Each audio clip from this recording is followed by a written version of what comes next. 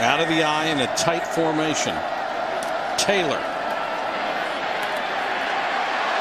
Loose ball. USC has it and Luck. Saved a touchdown by creaming. Shareece Wright, are you kidding? that was the quarterback. That's the hardest quarterback shot I've ever seen. Oh, man. Boy, Shareece Wright had set sail. He's still sailing somewhere, probably. I mean, when the ball hits the ground, great job of stripping and Wright picking it up. And I Oh. mean, Andrew Luck brought the wood.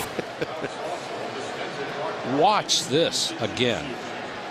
That ball's out, clearly. Yeah. There's, there's just a zero question about that ball being Oh. out. Now it's out again. Jeez.